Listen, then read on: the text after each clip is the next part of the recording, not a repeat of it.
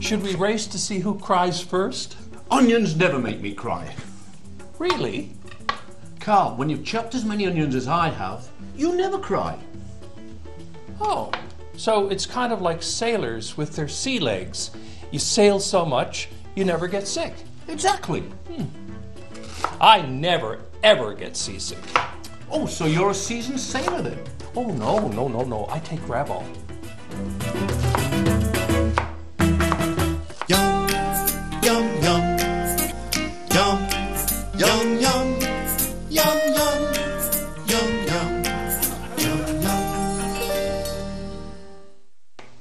Hi, everybody, and welcome to another edition of One Chef, One Critic.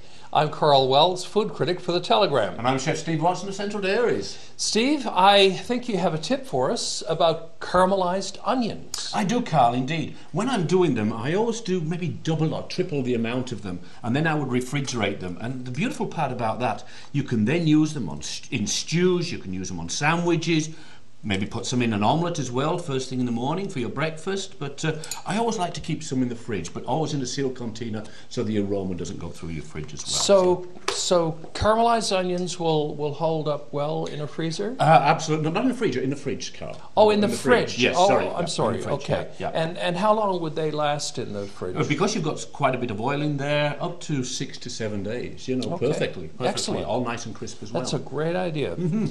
Well, coming up on the program today, we have a father and son duo, Mark and Jacob Critch. Mark, of course, is the star of This Hour Has 22 Minutes, and Jacob is a budding music artist.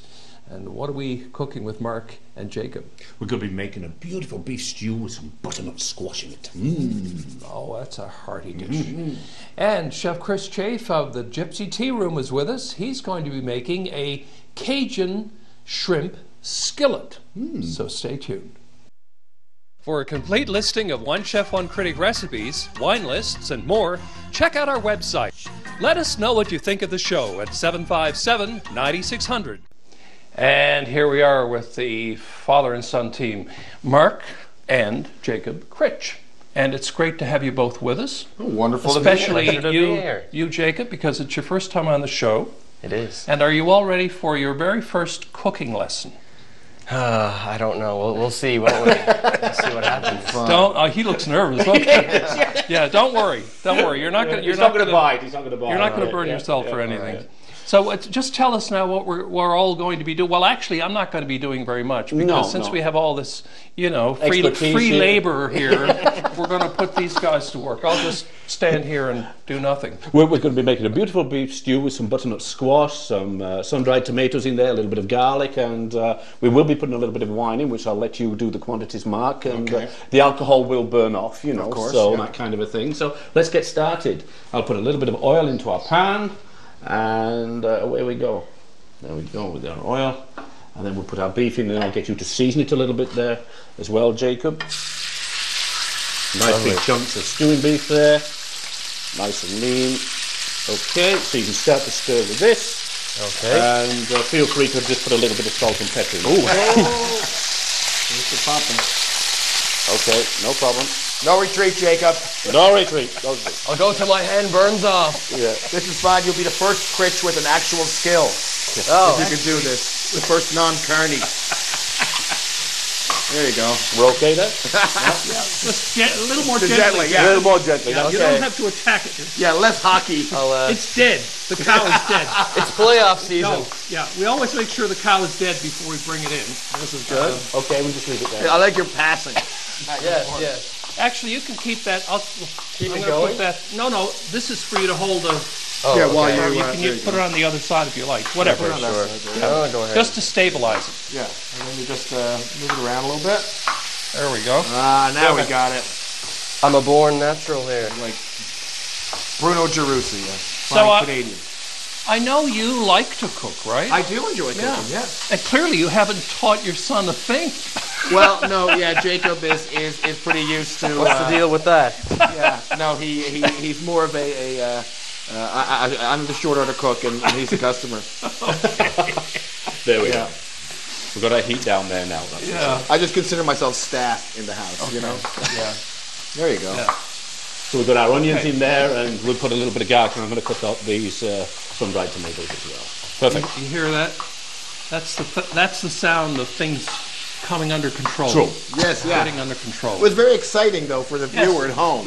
like, oh my God, this is the one where they burned down Karl's house. And then you're like, oh no, it's calmed down. So now some, we've got some conflicts, some, some resolution, and So Jacob, um, when did you when did you first get interested in music? Was this something that started when you were really young, or Well, I've always kind of been into instruments. You know, I picked up a guitar in grade four, and then I just started learning piano, electric guitar. And like four, three or four years ago, I started producing. So I got some gear to record music at home. And wow? I've just been developing that ever since, with the Right. mixing and the mastering and all that good stuff. wow. So uh, you're a real modern musician. Yes, very because, uh, contemporary. you, have uh, mastered the electronics of the whole process as well, I guess. yeah, it's more electronics than anything these days. Yeah. I would say. Yeah. So, Mark, uh, did he inherit any musical talent from you? no, not no, no. His mom's a good singer. Uh, I, I, I, I generally sing a bit, but usually as as somebody else making fun of Alan Doyle or something. But um, no, he, he kind of.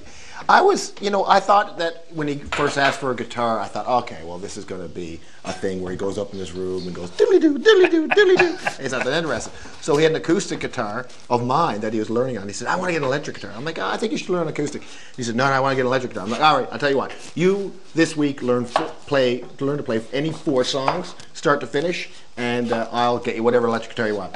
And Four went- songs? Yeah, and he went up and he learned them. And he came down. He's like, Imagine. yeah, and he did, and he did some, he did like a day tripper, like I'm a big Beatles nerd, so he did that, and I was like, okay, all right, fine, it was all part of my plan. yeah. And then he came in, he said, I want to get like a synthesizer, like a big keyboard with weighted keys. We'll just is need to sweat a little bit more now. And I said, okay. Yeah. It's all good. And I said, Yeah, said, we're good. well, you learn to play like three songs on this Right. crappy little keyboard. Right. And he did, and then he did that. And I went, ah, I thought it would work the second time. so now I'll never make a bet with him again. Yeah. Well, clearly he's, he has tenacity. Oh yeah, no, and what's the thing? You gotta have drive. Pardon? Yeah. Yeah, that's great. what I've done to add a little bit of thyme in there. We've got our sun-dried tomatoes and some rosemary. And um, Mark, I'll just get you to put that pasta into the dish there as well. I'll hand Mark the pasta. You'll hand mark the That's pasta, my and then we can add some red wine into the pan as well. Look at this! Oh my god, this is so good. The fine Newfoundland traditional form of cooking: boiling. When I was a kid, you didn't come home for supper until the windows were steamed over. Yeah, you knew, yeah. oh, it's cooked. So, did you have this here? You put a little bit. You can just put a little bit in there. Put in a there. little bit of that Yeah, in just a little bit in Okay, there. yeah. olive oil. Much better. There we go. Perfect. Ta-da! And you can put, actually, Mark, while we're at it, we'll just put a little bit of red wine into our pan, Hello, baby. Let's do it. And we'll reduce that down a little bit as well. Wee wee. No more? Is that good? Oh, a little bit more. That's that'll be fine. That's good. Perfect. Give it a stir, Jake. Yeah, a little bit of a stir. Right up there. Control the pan. Fantastic. Then we'll add our squash into there, our butternut squash. And then Oh, that's colorful. it's I coming down there to say, now. here's the color. Yeah. Yeah. So, Jake, uh, you participated in something called the RPM Challenge in 2014. That's true. What- yes. What? what uh, tell us about the RPM Challenge. What's Uh, that? so the RPM challenge, it's basically uh, you've got to make an album in one month. So it's kind of a, like a recording Wow. arts kind of thing to test your own skill. yeah. Um, but for me, I wasn't very experienced. So after doing that, it kind of like uh, was a bit of a boot camp for learning to record my own songs and write my own songs. And so it was a it was a learning experience. So for me. you actually produced, in essence, um, an album, right? Yeah, full record. It had to be Yeah. uh, 10 songs, and uh, you had to do all the work yourself as far as producing, recording, writing, all that stuff. Right.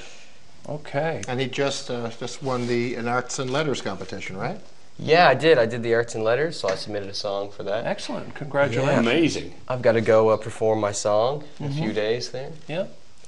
So you can now sing all about beef and. Uh, Oh, that's going to be my next So- record. Yeah, I can see. It's going to be a hit. I know. You, I know your dad here can write. Uh, do you ever consult with him on lyrics or anything? Uh, it turned out to be some Trudeau song. I Yeah. don't know if What I'm ready rhyme- to enter the political space. What rhymes with Yeah, Trudeau? right. Yeah. What was I thinking? indeed, indeed, Step in the wrong direction. Yeah. yeah.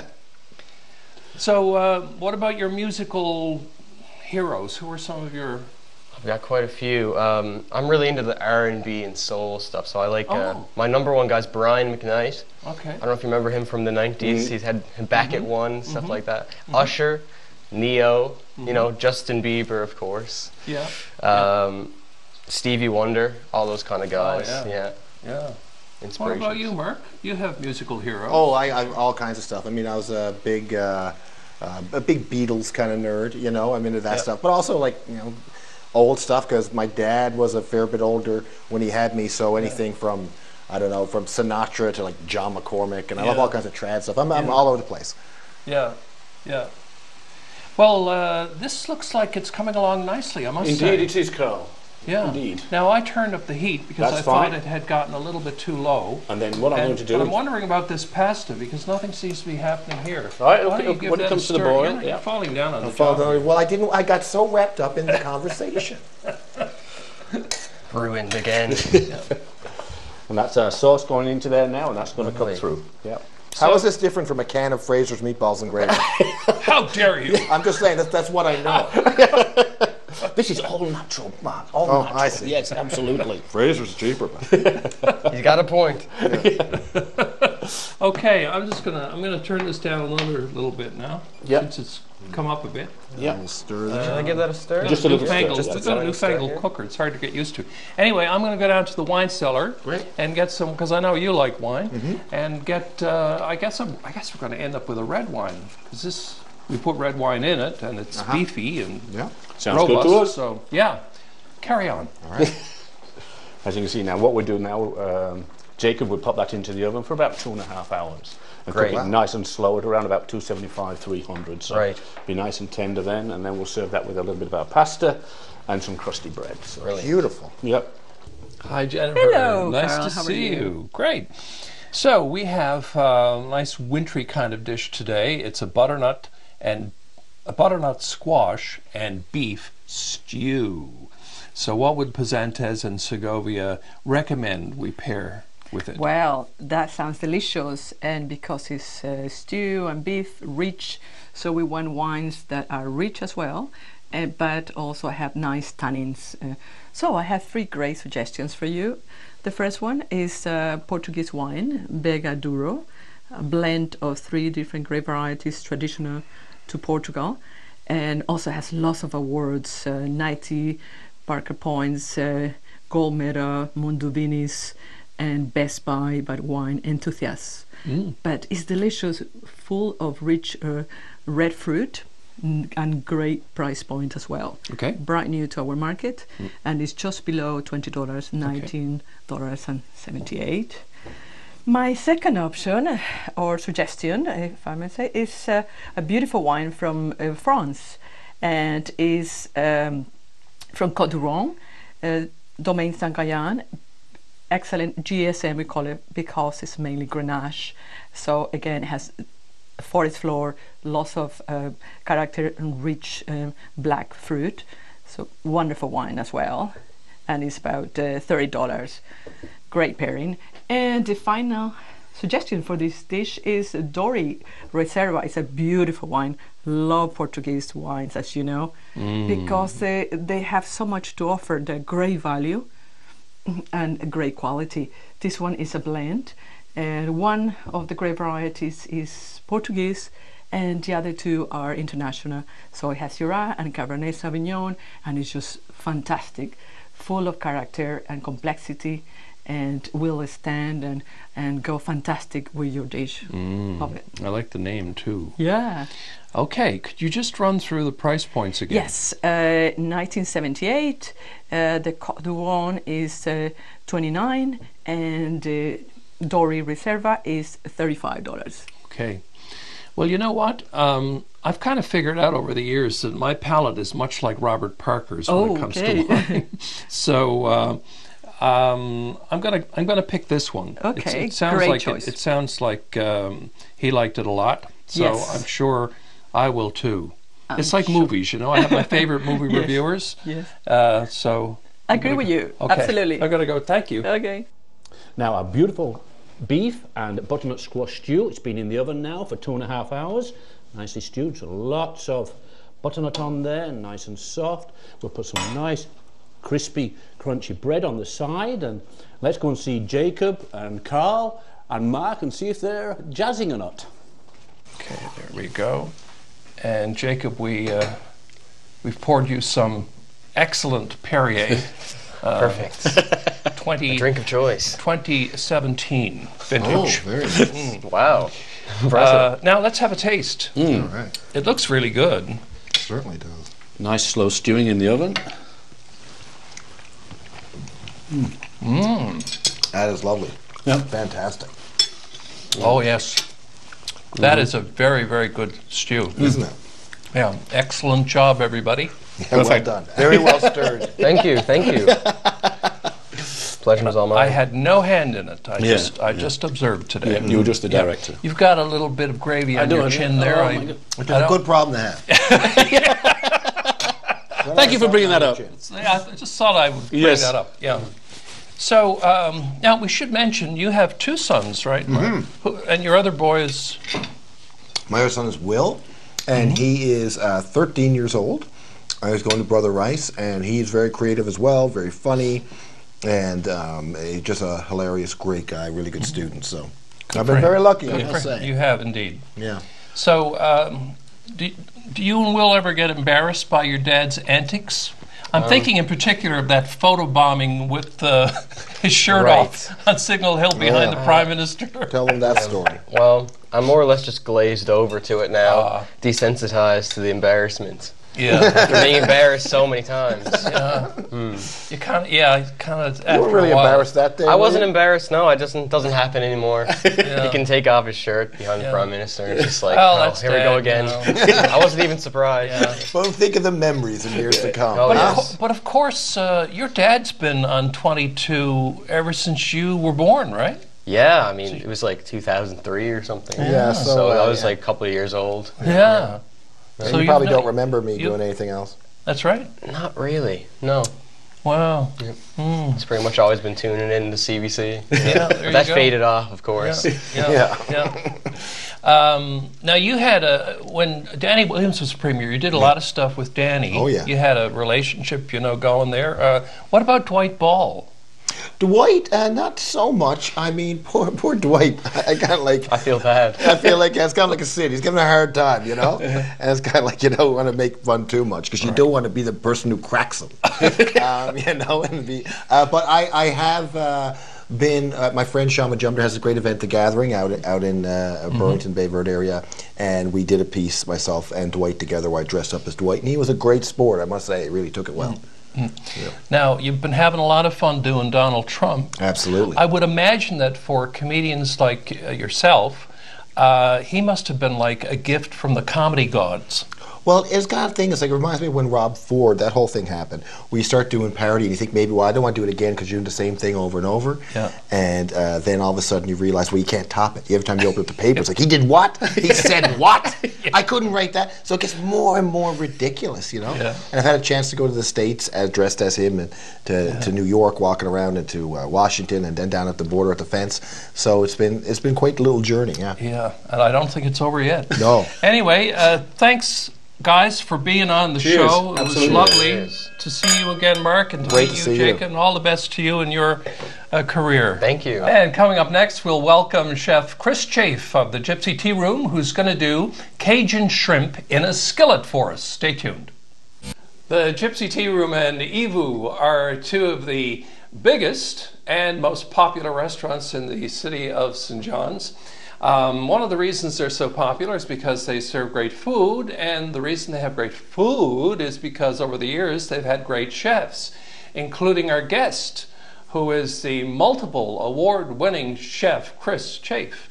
And it's great to have you on the show again. Great to be back again. And um, I'm really looking forward to this dish because I love shrimp and I see shrimp there. Shrimp and a buffet of ingredients as well. I mean, what, what, what are we going to be making, Chris? So today we're doing a take on say a Cajun shrimp or a Creole shrimp. Okay. Uh, so it's just we'll make a quick Creole sauce. We saute the, the shrimp in the sauce and finish with a little like a Louisiana style remoulade and some uh, fresh lime. Okay, Um, so so we'll get started. I'll turn the little stove on here. So we're just going to start with a little bit of butter in the pan. Okay. Let that melt.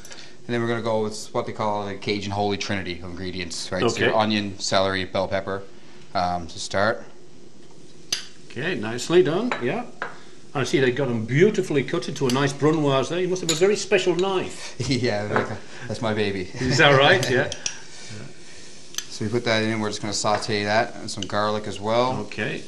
No shortage of that, that's for sure. No, the Creole food, like I said, they, uh, like you said, your holy trinity, your Yeah. bell pepper, and, celery, and onion. and with the uh, garlic. Creole food, the the Trinity is uh, it includes green bell pepper. Green right? bell pepper, Green yeah, bell pepper. exactly. Not red, not yellow. Green. But green. Yeah. So let that start to cook down a Yeah. little. We're going to add some diced tomato as well. Okay, yeah. It's very nice. A little bit of green onion. Okay. No shortage of those ingredients for sure. No. And you have what, about 150 seats in the restaurant now? Yeah, at, at Gypsy, we're so, somewhere in that range, and Yeah. then uh, 60 at Evoo. Oh, is that right? Okay, so so you must have a full brigade and everybody going uh, full tilt It's on a good night. quite yes, the yeah. large team, yeah. Yeah, yeah. Okay, so then we're going to go into our spices once that starts to saute a little. Okay. So we have a little bit of ground coriander, yeah. And that's fresh coriander, is it? Yeah, Yep. ground, yeah. ground up. Uh, smoked paprika, one of my favorites. Yeah. You can see that in uh, Yeah, a little aromas bit of cayenne pepper, depending on how hot you like it. I Yeah. like I like spicy. Well, it so- is Yeah, it is yeah. Creole, isn't it? yeah, exactly. Yeah, And dried oregano. Oregano, Just a little bit of that is very strong. So I don't yeah, yeah. much. Pungent, I understand. Yeah. You smell. You start to smell the room fills with, with the scent there now. Oh, yeah, Oh yeah. Yeah. exactly. Okay, and then the last thing we do, we just a little bit of chicken stock, just to kind of help it Cook through. Yeah. and the smallest touch of Worcestershire sauce. Really bring those flavours through now, won't it? That's that's coming together. Okay.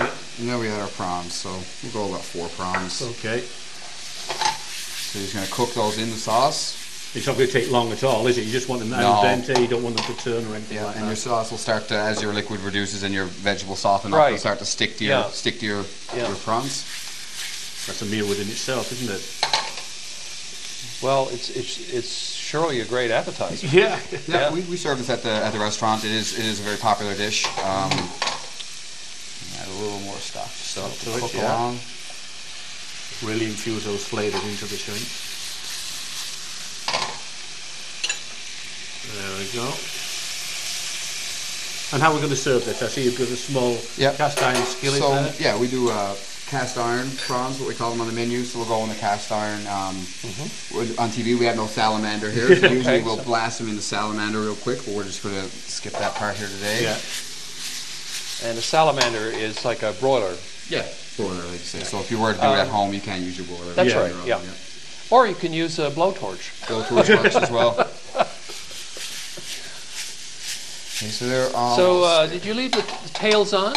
Yeah, I leave the uh, just uh, we clean most of the shell off and obviously devein the prawns, but we Yeah. leave a little bit of the tail on just Right. to pick up and Yeah, pull it out. that makes a nicer presentation. as It well, does I indeed, guess. doesn't it? Yeah. Very nice. Almost cooked. And you're going to garnish that with some fresh. Yeah, we have some microgreens there from the organic farm in Portugal Cove and just some some lime slice and this is a remoulade. So it's a Louisiana style Ooh. remoulade. This is mayo, a little bit of mustard, some uh, some dill pickle, herbs, uh, again cayenne, paprika, onion, garlic. Yeah, Okay. that's a very they look pretty that's a close very already. famous uh, sauce. Yeah. So then we're just gonna arrange the prawns with the sauce. Into the pan. Into our cast iron skillet. Might want to use tongs at home. My fingers Yeah. don't feel the heat anymore. No. Does any chef feel the fingers anymore? We don't want to leave that. We'll put that in there as well. Beautiful. I like the presentation there. That skillet there. And I usually kind of try to fill the little sides here with some Nice. remoulade. Yeah. Dip it Yeah. in. That's beautiful. Beautiful, Chris. Yeah. Really, really nice. And finish it off with a little slice of lime. Lime on it. Yeah, Wedges in there. there we go.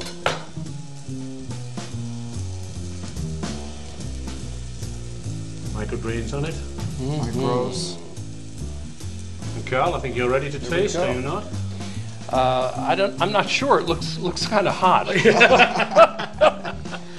but uh, I, not actually. I'm not because it is really hot. Hot, yeah. Um, Perfect. but it looks beautiful. I know. I know it tastes great. I'm going to taste it after. But anyway, thanks for being on the show, Chris. Thank you. And that's it for this edition of One chef. One Critic.